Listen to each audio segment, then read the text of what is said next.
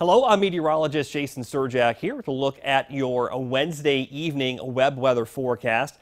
And we'll start things off by taking a look on the uh, satellite and radar across Ohio and western Pennsylvania for us as we went through our Wednesday afternoon and Wednesday evening out there, which again did show some showers move through here earlier. We are seeing a second batch make its way through here on your Wednesday evening as well. Maybe even some uh, more showers back across uh, northwestern Ohio. So we will be dealing with off and on showers through most of your Wednesday evening out there. But once we get behind this cold front, you will see your winds die down, turn around to the north and northwest, and the skies will begin to clear out. And we'll have a decent amount of sunshine to start our Thursday before more clouds develop in the afternoon, along with the possibility of seeing some showers on your Thursday afternoon.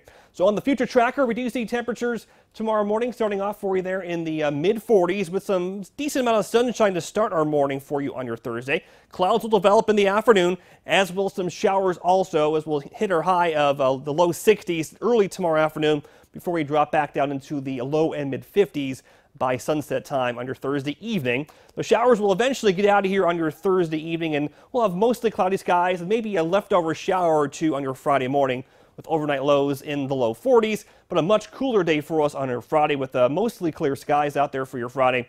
But temperatures only in the low and mid 50s for daytime highs, so a very cool start to the weekend and it will stay cool as we go through that weekend as well. So for your day tomorrow on your Thursday, things will start off uh, in the uh, mid 40s for us in the morning, get up into the uh, upper 50s in the afternoon with some morning sunshine. Afternoon clouds will develop as well some isolated showers for us there as we top out for you in the uh, low 60s for you tomorrow afternoon with some uh, showers developing late in the day for you as well. We'll see some uh, breezy conditions also, uh, but a much cooler day for us tomorrow and even cooler as we head into the weekend there. And uh, here's a look now at the next seven days as uh, temperatures will still cool off into the uh, mid and upper 50s for us on Friday and Saturday. It'll be mostly dry for us as we start our weekend, but rain comes back into the forecast for us on Sunday and Monday. We will pick our temperatures back up into the low and mid 60s as we head towards the middle of next week.